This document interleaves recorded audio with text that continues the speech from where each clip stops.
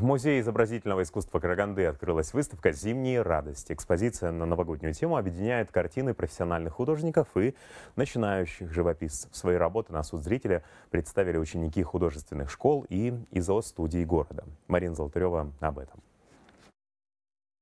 У Миланы Василенко сегодня дебют. Девочка полтора года занимается в художественной студии, и ее работа уже красуется на стене Музея изобразительного искусства. Ведь на выставку взяли лучшие детские произведения. Свое новогоднее счастье Милана представила в излюбленной технике. Эта работа выполнена э, в, смешанной, в смешанной графике. Я больше люблю работать в графике. Я не очень хорошо делаю переходы, и графика – это самый простой способ выразить свои чувства на картине. Новогодняя тема мне нравится больше всего – она более яркая, красочная. Ты сидишь в Новый год и смотришь, как красиво горит свечка. Новогодние сюжеты начинающих художников чередуются с произведениями маститых живописцев. На выставке представлено 37 картин из фондов музея и 65 детских работ. Их создали ученики четырех из студий города. Дети работали в разных техниках и стилях. Мы давали им такое, скажем так, небольшое положение, что это обязательно должны быть работы на зимнюю или новогоднюю тематику. А все работы формата А3. Работы получились получились такого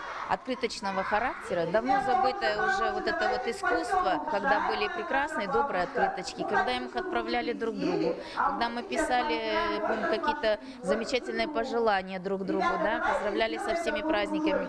Вот сейчас э, ощущение в зале вот такое. Творческие способности сегодня раскрылись в полной мере. Сотрудники музея подготовили для гостей новогоднее представление. Юные художники стали участниками мини-спектакля, где продемонстрировали еще и артистические таланты таланты. Марина Золотарева, Сайлау Игликов, Караганда, Хабар 24.